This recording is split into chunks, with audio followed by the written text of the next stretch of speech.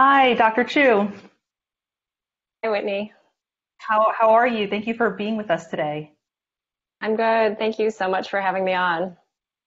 You know, I, am sure that you're working uh, around the clock these days, so it really it means a lot that you took some time um, to to be with us. And um, you know, I think uh, I I asked how you are, but uh, would love to hear, you know, truly like how are how are things going? Um, how are you uh, making out uh, in in these times?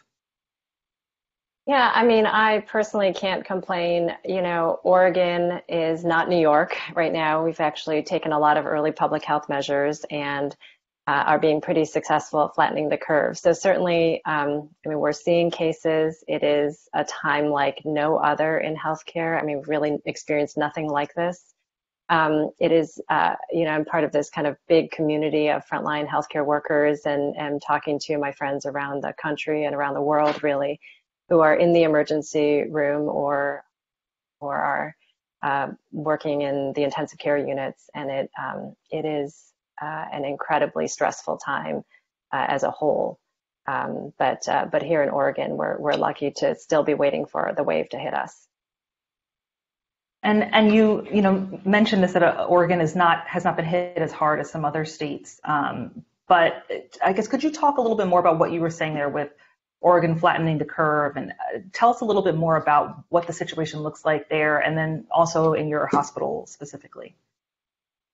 Yeah, I mean, um, the uh, the first case in the United States, of course, came to Seattle, which is just three and a half hours uh, up the road. Um, as it happened, it came the first case that was detected was someone who works at uh, the school where my, my that my kids attend, which is one block from my house. Um, so when it came to Oregon, it started feeling real very quickly. Um, and then early on, we saw the pattern that we were seeing across the United States. Um, I mean, the doubling times here were every two and a half to three days. Um, and I think between watching what was happening in Seattle, where uh, the cases really exploded, um, we uh, we took our stay-at-home order very seriously. You know, so um, schools were shut down pretty early on. Um, people have really been trying to abide by stay-at-home uh, recommendations, and um, and we we watched that doubling time start to stretch out, and the progress the uh, projections for what our hospitals would see for our needs for bed space for intensive care unit space and for ventilators um, started going down until um, until you could see that probably we will be within the resources that we have in our state, which is wonderful. And earlier this week, you know, Oregon was able to um, to pledge to send 140 ventilators to New York City to, to try to help them meet the need in, in this time of crisis. Um, so it's you know we're still at the stage where it's very very different from state to state. I mean. Um, the cat is kind of out of the bag in in certain states in Washington and in New York, um, but many other states still have the opportunity to change their fate. Um, so it's really a day-to-day battle to make sure that we stay in the game and that we uh, we continue to be really vigilant with all of our public health measures, or even escalate efforts so that we can get over that hump um, and get to the other side of this thing. I mean, and that's it's amazing to hear um, that things seem to be going really well or going uh, more, are doing much better in Oregon. Um, and you know, I'm I'm curious uh, in talking about those other states that you mentioned that maybe aren't faring as well. I know you're in touch with a lot of colleagues in other parts of the country. Um, you know, what are you hearing uh, from folks who are maybe in some of those harder hit areas? Yeah, it's really unlike anything you've seen. I mean, uh, the thing to understand about uh, emergency care and disaster response systems is this is what we do. You know, it's not like we run on the assumption of of normality. You know, we we are always planning for the worst case scenario, and so we're we're prepared for disasters. But but normal uh, quote unquote normal disasters are are so much more contained than this. So you know, we're ready for earthquakes, hurricanes, other national uh, natural disasters, or um, maybe a single mass casualty. All these things that have so much more, um, so many more uh, sort of borders to them. You know, these discrete events. Maybe they affect a single city or a region, um, or um, uh, you know, uh, you're in a position where other states or regions can can chip in. I mean, you've seen after some of our our largest um, disasters, things like 9/11, other countries were so willing to sort of lend a hand in terms of our um, our of, of addressing our aftermath. And um, and this is one of those things where um, where should the help be coming? Because we're all dealing with this at the same time. And so everybody is either in uh, full in it you know like they are in new york city either they are they are in there um, just trying to deal with a huge caseload of patients and very sick patients and just scrambling to be really creative around these um, these limited resources that we have, everything from personal protective equipment to the medications and space and ventilators and healthcare workers, um, to just being in full on preparation mode.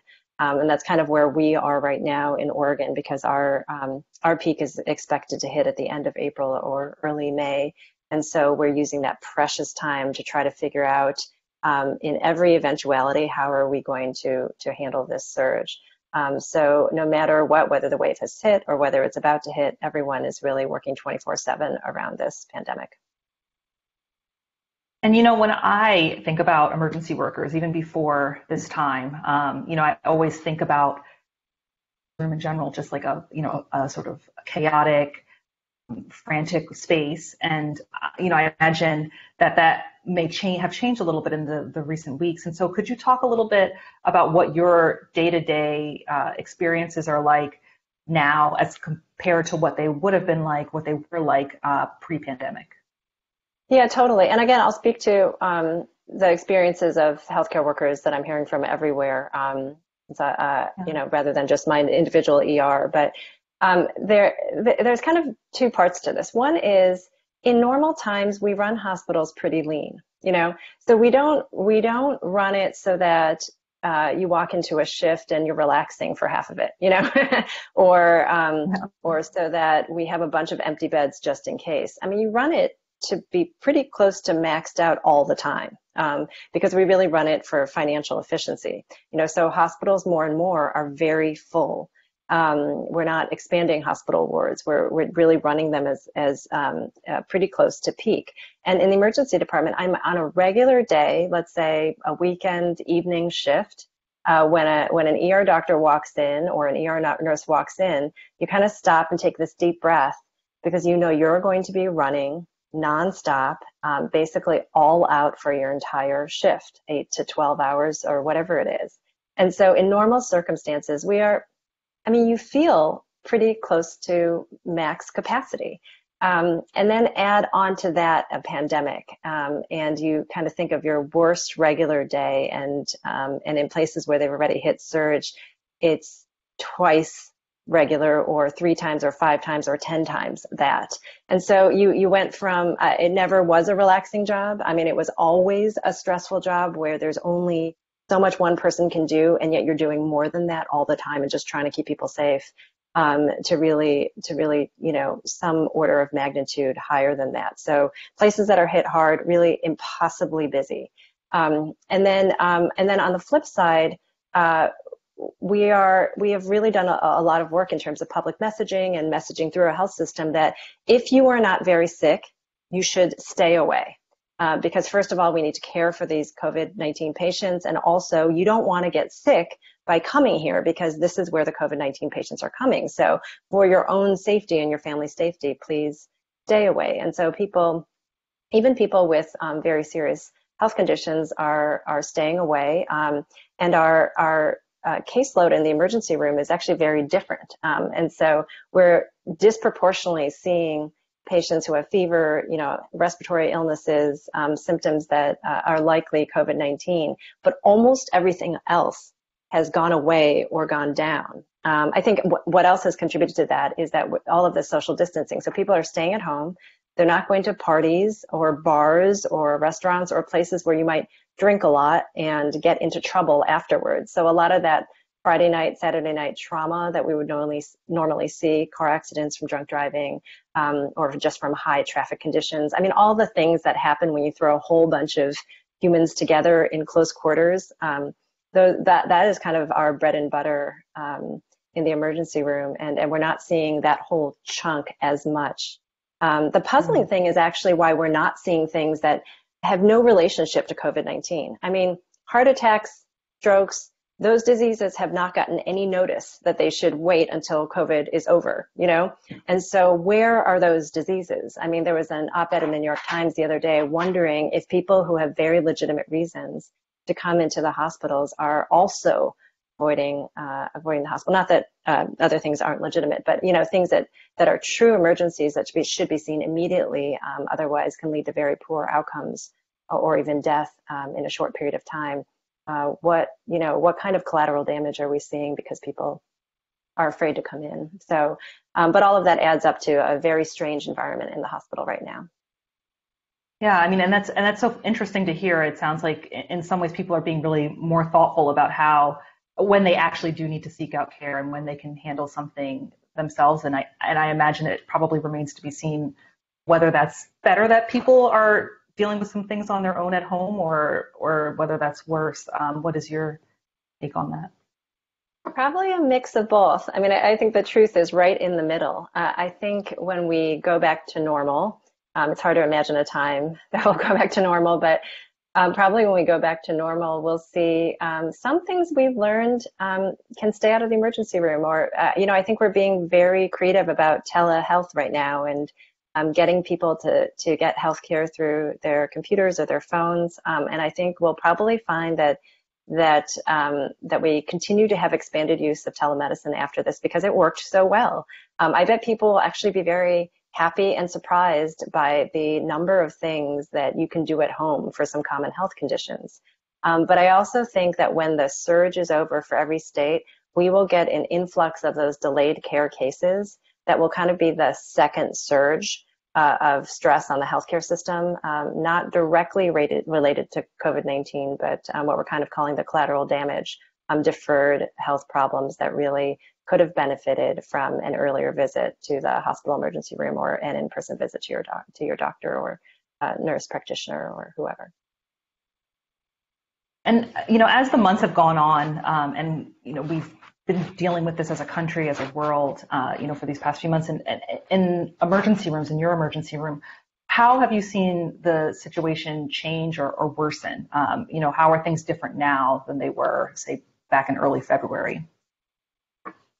I mean, now we are in it. I mean, all of us to some extent. Um, I mean, it's hit all 50 states. And so uh, it went from this anticipation to really ma- needing to make those hard decisions. And uh, I mean, uh, this is so challenging always, but in this disease, we're not familiar with it.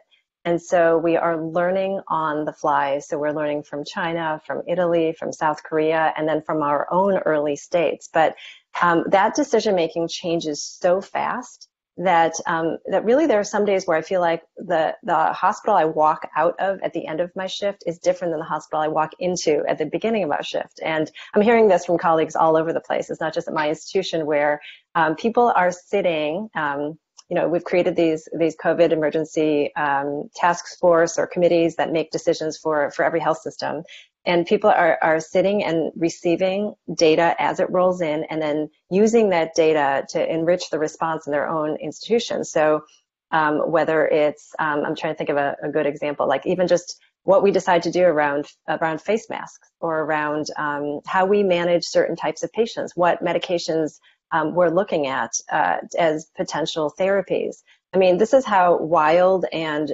and quick it is. Um, a few weeks ago, earlier in this pandemic, um, we were concerned about a certain class of blood pressure medication called ARBs, uh, angiotensin receptor block- blockers. And um, the rumor was that these were harmful, that these would actually lead to more severe disease. And there was a question about whether we should be taking patients off of those medications um, uh, who were using them for blood pressure control. Mm-hmm. Three weeks later, that medication is being used in the hospital as a potential therapy. I mean, mm-hmm. that is how fast the science is changing. It was, it was bad. Now it's potentially really good. I mean, it, it's a constant process of keeping up with what the best evidence is telling us um, is right to do. And I mean, I'll just tell you, um, you're always wondering, am I getting it wrong right now? Because I feel like it's going to be different in about uh, 24 hours, and you just do the best that you can with uh, with current information. Well, I mean, so you've been documenting your experiences and uh, sort of talking about what how you've been um, going through this pandemic in your new podcast, uh, Doctor's Log. And um, you know, you've talked about some of the unique challenges that uh, health workers are facing. Um, one of those being uh, heightened exposure to the virus. And so I'd love to talk about that a little bit. Just you know, what are some of the physical ways? What is the physical toll um, that this pandemic is having on health workers?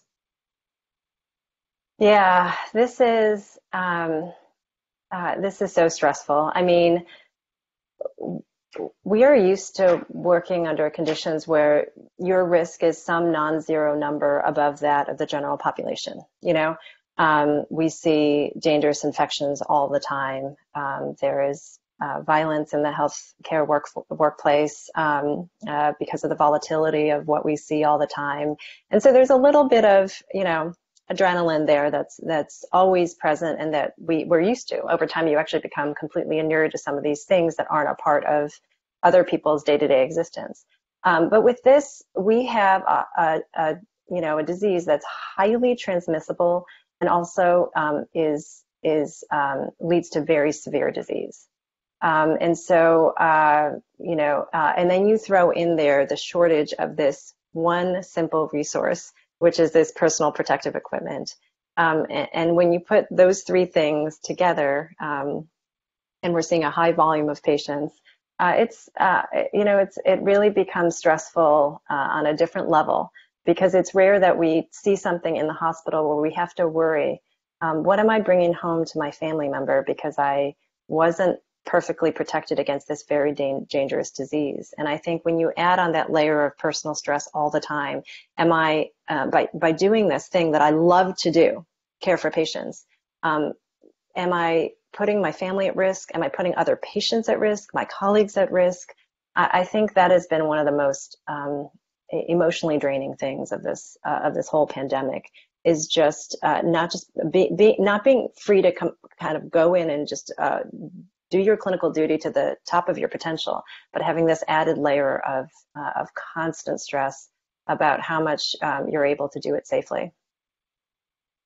Yeah, I mean, it's uh, seeing these headlines really across the world about the number of health workers who um, contract the virus, and um, you know that sort of thing is uh, is is really upsetting. And um, you know, thank you, uh, Dr. Choo, uh, for all you do. And I think uh, another thing that you talk about, you know, and also thinking about, you, you mentioned not having uh, PPE, but also other equipment that we've seen a lot in the headlines that are uh, we're lacking in hospitals or a shortage of are ventilators. Um, and you've talked about this and how it's not just enough to think about the ventilators themselves, um, but you know, what are some other factors that we need to consider when we're thinking about uh, the need for ventilators in, in medical centers and, and hospitals?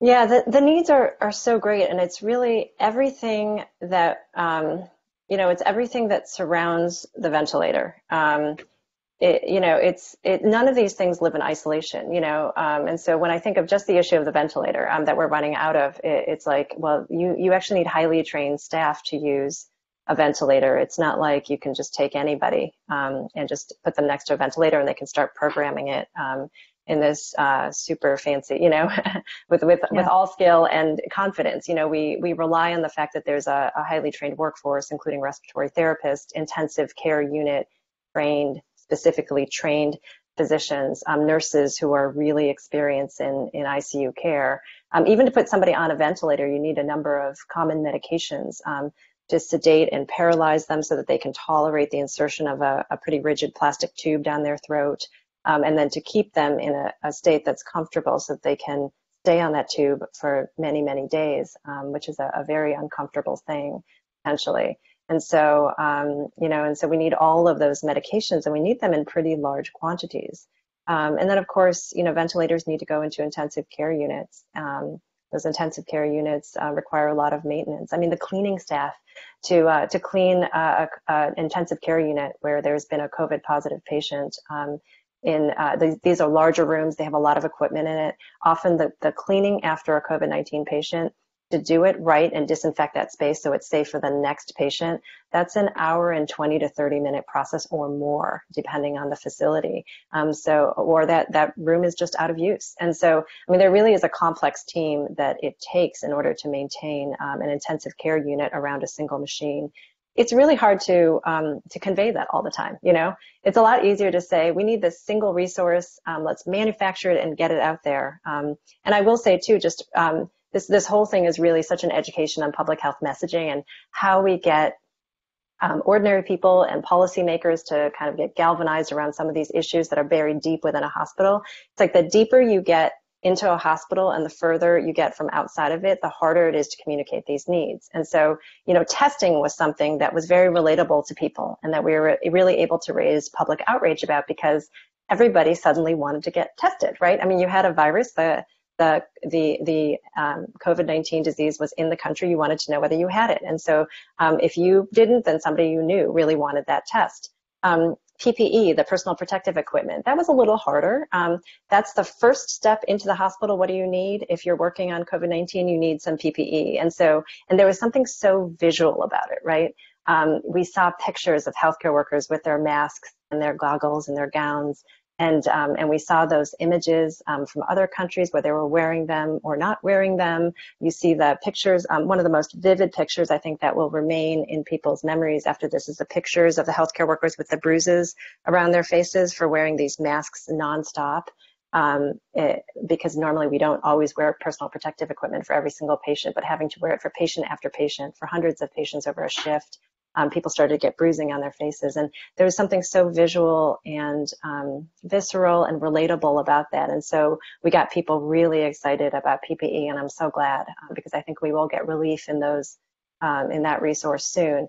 Um, after that, um, our ability to kind of communicate our needs are as critical as they are. They may be as critical as PPE and, and, as testing once you get downstream to a stage of disease where you need to be treated in the hospital. Um, it's very hard to communicate how badly we need these things um, and get the kind of, uh, you know, the public interest uh, and, and outrage and energy around it. Um, but really every single thing that we need um, uh, in the hospital is, uh, is um, we're starting to strain the supply. Hmm. I'd love to jump in. We have Helen here. Yeah, yeah, please, Helen. So many questions pouring into Facebook, so I'll just share a couple and then I'll jump back off. But I think uh, overwhelmingly the number one question that people have is how can they help?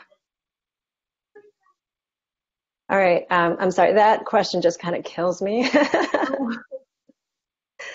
um, it kills me every time. And you'd think I'd be ready for it because so many people are asking me. Um, so, ooh, give me a second.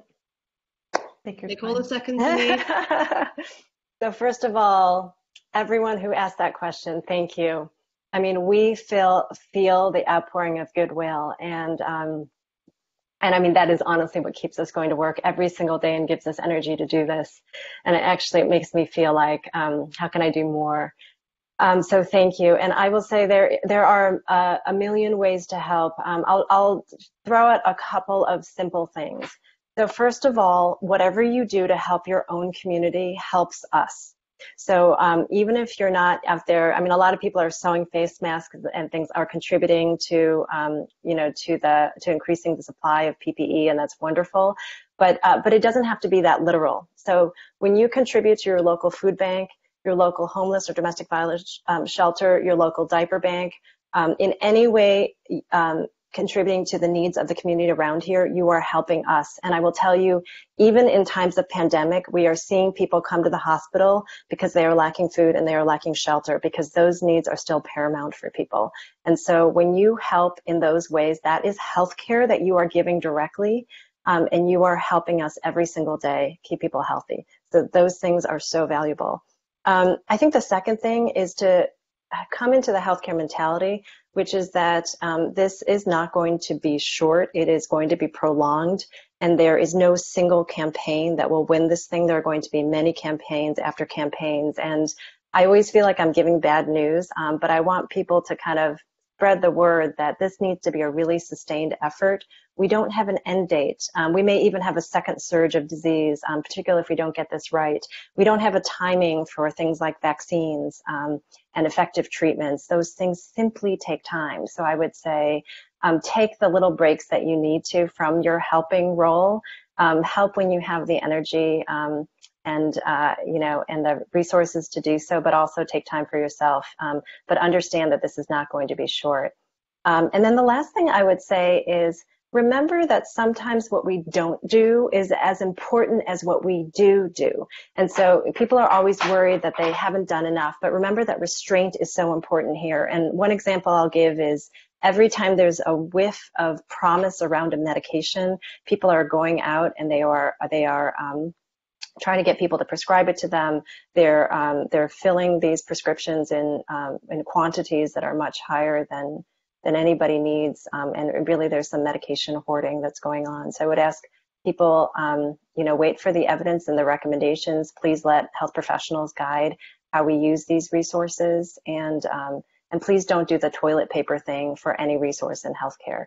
Um, uh, we need to we need to have enough restraint that the limited resources we have get to those who really need them. Um, that goes for a number of things. Also, those you know high filtration face masks. Um, people in the public do not need to be wearing those. Um, those should go directly to healthcare workers. One other question, and then I'll jump back into the comments. But there's a question around the risk of using a drug for something it wasn't intended. And I guess this is a reference to chloroquine, which has become a kind of a word that non-medical professionals are now using liberally. But um, what do you make of the kind of the sudden resurgence of people's awareness and knowledge of chloroquine, and what should we actually think about it? Yeah, there, um, you know, every time there is a pandemic, there are a number of medications that have theoretical benefit um, because they have um, in vitro action against um, against the virus. And there have been many disappointments. I mean, all all these medications that we're talking about, hydrochloroquine and azithromycin and um, antivirals that are effective against different viruses, we wonder, can it work against this virus? Maybe. Um, the excitement about these medications, um, hydroxychloroquine, I think, is the one that's been mentioned the most. I mean, really through the roof. I'm excited too. Uh, it would be nice to know if it works. We have very little data on these. Um, we have not been able to do these randomized controlled trials that will allow us to know um, not only are they effective, but is the is the good that they're doing um, uh, does it exceed the harms? Um, because all these medications have potential toxicity on um, you know, um, they have psychiatric side effects, they have cardiotoxicity, particularly in combination with other medications that affect your heart. They can cause um, very serious illness, seizures, um, and even death. And we've seen um, we've seen an early death um, from uh, from the use of chloroquine. So. Um, so a lot of caution here in every sense. there is no indication for people to go out and start using these medications as either prophylaxis or treatment. Really worried about how people can hurt themselves inadvertently, um, particularly if they're taking these outside the recommendation of a health professional. I mean, that's just a, a nightmare waiting to happen. And I'll also say, I mean, this of goes in line with um, with the issue of medication shortages. But I mean, the the treatment for um, hydroxychloroquine or chloroquine overdoses um, is is generally uh, benzodiazepines, which is another medication that we're in very short supply of. We need critically for intensive care unit patients, and so um, you know, everything has consequences um, that we will then have to grapple with. So, uh, uh, not uh, you know, unsupported use of these medications is really uh, has the potential to be another disaster buried within this disaster. We do not want that. Okay, I'm jumping off. Thank you so much. Back to you, Whitney. Back to Helen. You know, it's so you, you talked about um, sort of how you've been advocating for PPE and our and our need for that. And um, you advocate for a lot of things in, the, in this public health space that I think um, are, are, just really critically important at this time. And one of those things is uh, the work that you're doing with um, Jupe Health, and I'd love to talk a little bit about that um, as far as looking at building emergency health centers and creating these spaces uh, at this time. And uh, as we're seeing that hospitals are overcrowded um, throughout the country, the world. Um, you know, I guess how how long before we get to a point where where we we really are beyond capacity um, and and need to to seek out alternative uh, measures.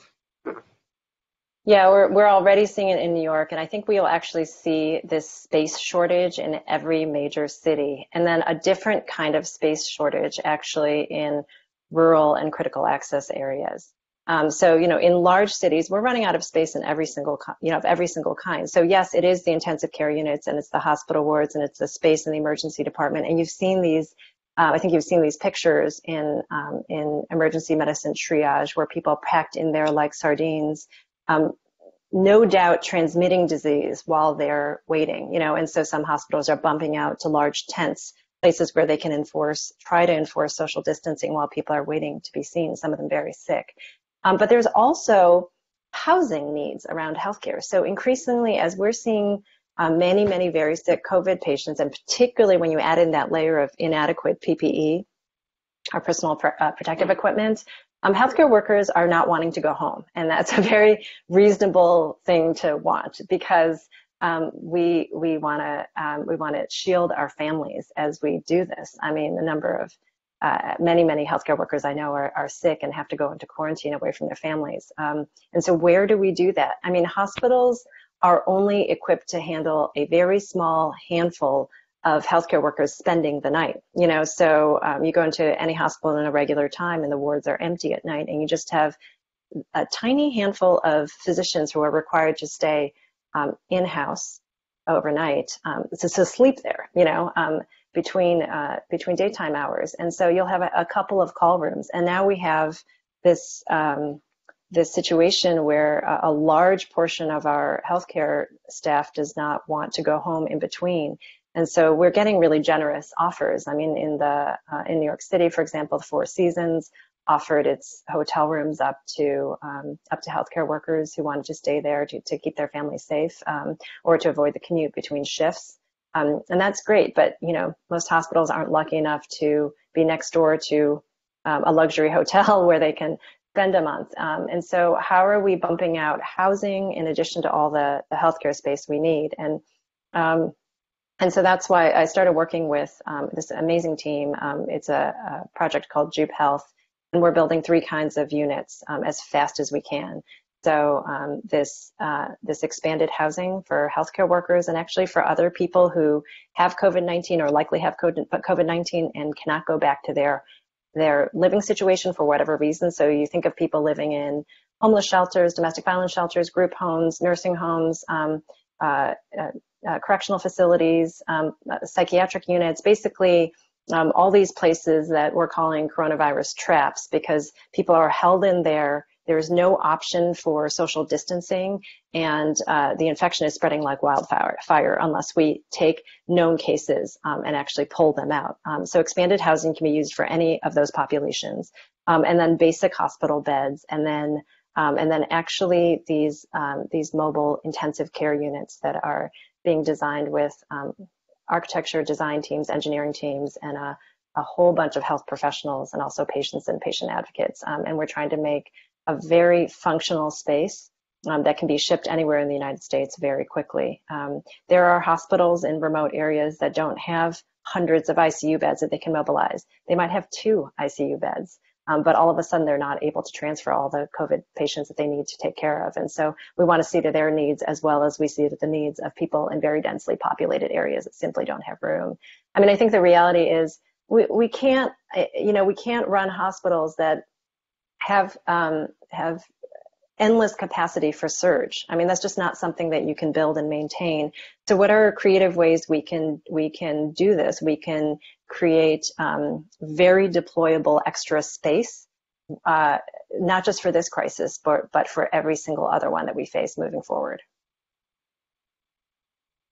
And you know, when you think about these needs uh, for health workers and, and just for the, the broader community, um, you know, how much of this is uh, on the government? And I, you know, and I, I'm curious to hear, I guess, what you feel like uh, in thinking about uh, this crisis, what the government has getting right, both on the federal, state level, um, and then what are some of the areas that uh, really uh, still need more attention?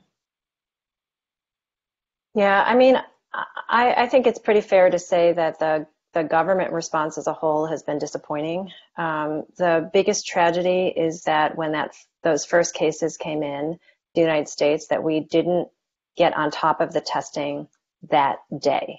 Um, not even that day, the month before, when we knew that this was starting to spread and it was clear this was going to be a global pandemic.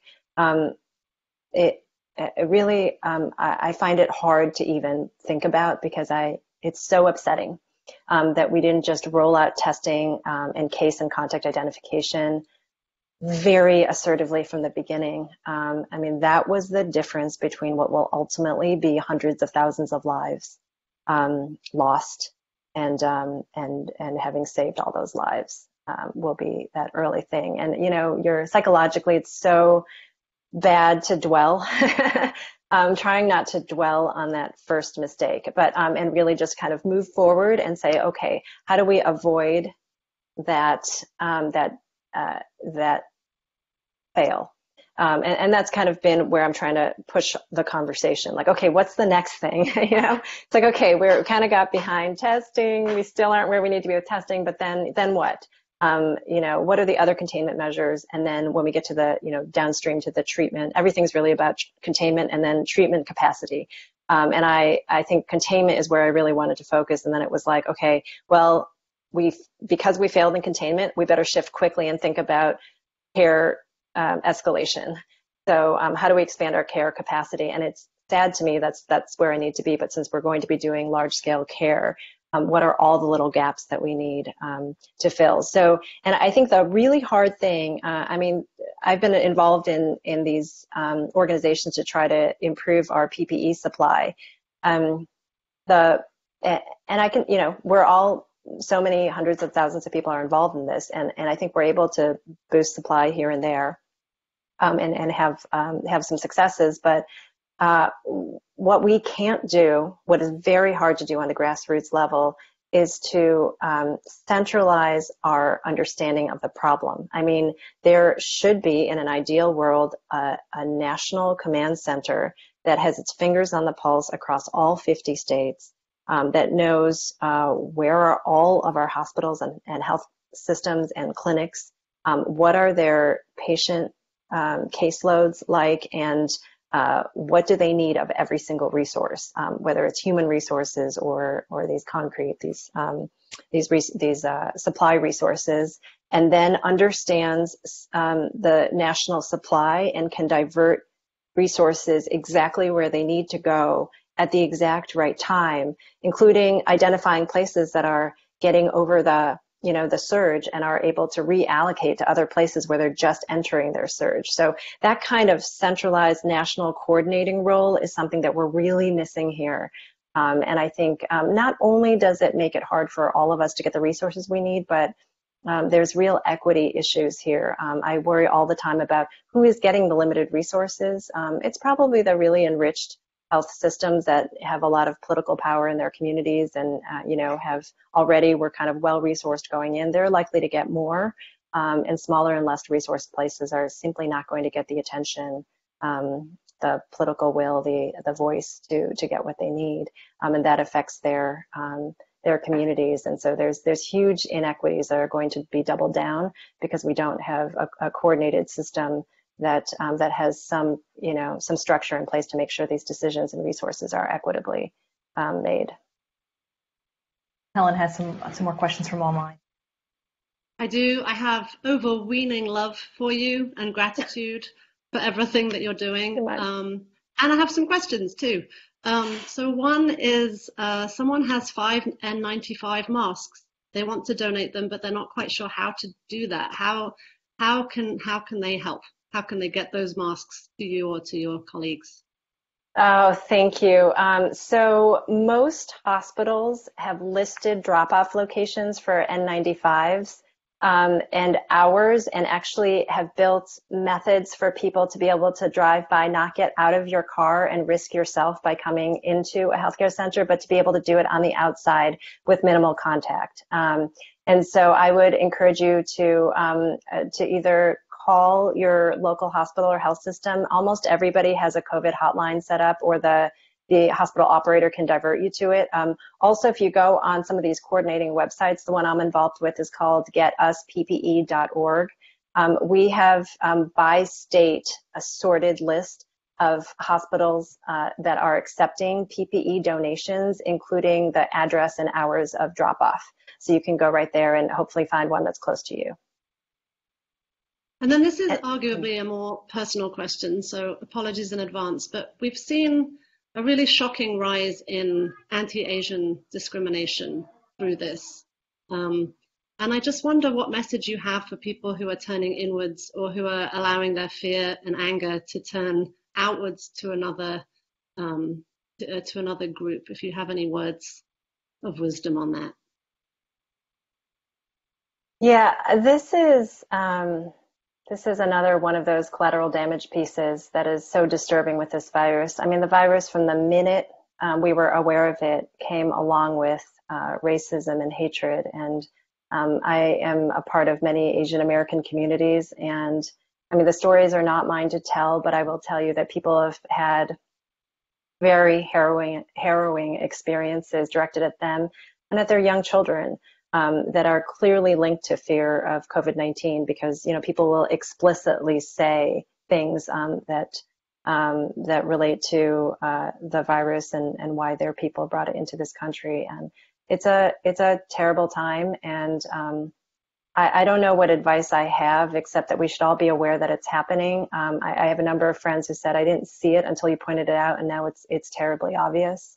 And so um, I think we all I think just acknowledging it when you see it, even though you're not the target of it, um, being really explicit that this is not acceptable right now. Um, I, I, think people being the best allies they can be because very hard in the moment um, when you're experiencing that kind of racism to stand up for yourself um, or for your family members. Um, so I think this is one of those times where we really need people to call it out and to tamp it down quickly where they see it happening.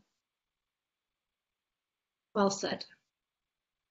I mean, and, to this point of collateral damage, I know that you've also talked to um, about some of the other downstream um, medical effects that you've seen uh, that are not even connected to people contracting the virus at all. You know, you've talked about domestic violence, and I'd love to hear you, I, I guess, address that a little bit more. Just what what are you seeing uh, as it relates to those sorts of uh, issues?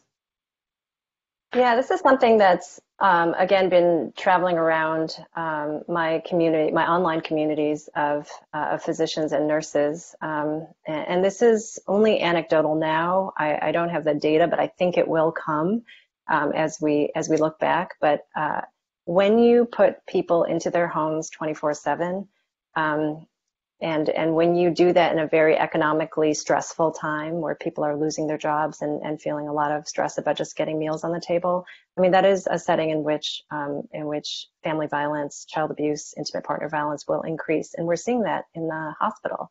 Um, I, I, mean I, i've seen a number of, of cases where people fled to the hospital because their home was simply not safe and became abruptly more not safe because of stay-at-home orders um, I've seen young children harmed because in their regular lives they could escape to school for a good chunk of the day, um, or they had these extended communities of family members and friends floating around, and then stay at home orders went to place and everybody retreated into their homes, and there was no um, that barrier that always was the difference between safety and harm was suddenly removed, and family violence went up. Um, and and truly i mean i am a, a, a, violence researcher. I'm always very attuned to the patients who come in who are experiencing violence and i have never seen anything like this before. And um, and i think uh, you will never attach a covid-19 diagnosis to this. No um, no review of medical records may really um, may really attach this to covid-19 but i consider this uh, a very um, a very sad part of the collateral damage that's happening directly because of this disease. Um, and you know, as we uh, wrap up here, I think I'm sure that this, this is something that a lot of folks out there are thinking about too. Is just you know what is, I guess the the big takeaway. What are the the big things that we should know that we should do to ensure that we can get to the what is whatever the best case scenario is at this point. Yeah. Well, I would say uh, to to um, to give people a measure of hope and optimism. your little actions are working. Um, so I know there's nothing glamorous about do nothing and stay at home, um, and I am so acutely aware of how much people are sacrificing. I mean, people are they're sacrificing their businesses, their livelihood, and people who are just on the edge of being uh, of feeling financially secure are just giving it all up to stay at home. Um, I, I, you couldn't ask for a bigger sacrifice, and yet those things are working. Um, look at what's happening in Ohio, in Oregon, um, in other states where we're really able to get ahead of this. We are protecting ourselves, our family members, um, and also importantly, our really vulnerable members of society, our, our older citizens, uh, by doing these things and, and doing that sacrifice. So I think um, while we're going through some really, really tough times in these hardest hit cities, um, what we're, uh, what everyday people are doing in response is really working. So I, I, think it can feel futile. I think sometimes to just kind of sit quietly and do your um, social distancing thing, um, and nobody, uh, you know, there's no glory in that, and it's also can be incredibly boring. I'm learning, um, looking online and seeing how creative people are getting with their dance moves and their uh, bread recipes. Um, but it really is also heroic work um, and it is saving lives for sure. So thank you to everybody for, for that simple act. Um, it's making everything better. Thank you, Dr. Choo. I think um, I speak for uh, everyone uh, and how, how much we appreciate you coming, spending time with us today, sharing your experiences and your wisdom and knowledge. Um, Helen, did you have any uh, last things that you wanted to share? Only that it's kind of you to try and deflect, but we all know who the heroes are around here, and it's it's pretty okay to be able to sit on a sofa and watch TV. So thank you for everything that you're doing, and just the deepest appreciation and gratitude from everybody who's been watching, from everyone at TED, and from uh, hell, I'll speak for everyone in the world. Thank you so much. Thank you, Dr. Choo.